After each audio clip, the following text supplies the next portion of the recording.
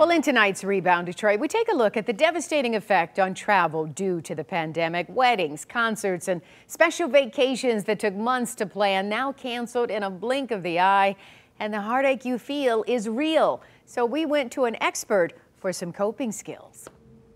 It's like a dark cloud is hung over Michigan. Concert venues silent, planes at a standstill, weddings postponed. And for couples like Robert and Tanya Ridley, a promise made has fallen short. When we first got married, we were unable to take, you know, go on a honeymoon.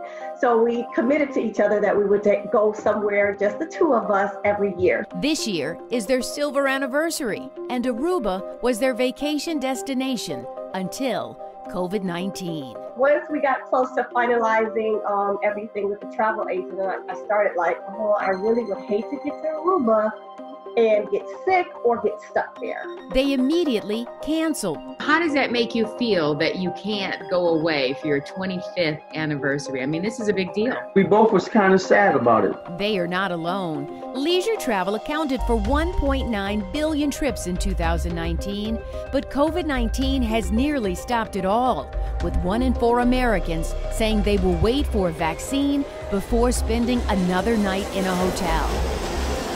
There's so much uncertainty and we don't know when we're going to be doing anything. Psychiatrist Dr. Deborah Hollander says spring is busy with graduations, honeymoons, and summer vacations. And with it all coming to a screeching halt, heartache is understandable. One of the challenges that I see, especially around vacation, is that people go, This is ridiculous that I feel bad and I'm depressed about, about vacation. I mean, when people don't have food. Robert is an avid fisherman. And you've been fishing for how many years?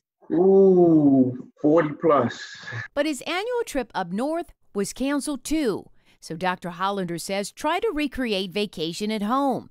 Camp in the backyard. Love up north, there is a Charlevoix Cam with water flowing from Lake Michigan. The Ridleys, with their son and daughter home, are trying to reconnect. We play uh, Uno, of course.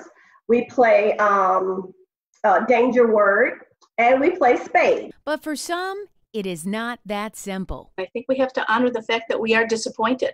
It's, it's, if we try to avoid it, it's going to come back and be more painful.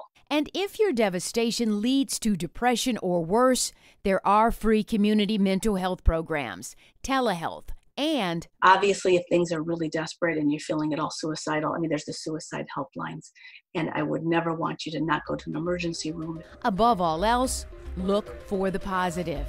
I think for me, it's just thank God that you know you're still alive um, and your family is together. So here's the rebound rundown. Accept that you will feel disappointment.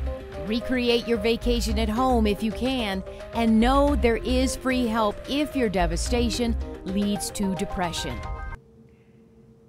Dr. Hollander also says, remember, this is only temporary and recommends instead of asking why me, ask why not me. Also try to hunt for the good and be grateful. And as always, in these uncertain times, email us at rebounddetroit at wxyz.com with your questions or your story ideas. We are all in this together and we are getting through it together. Dave?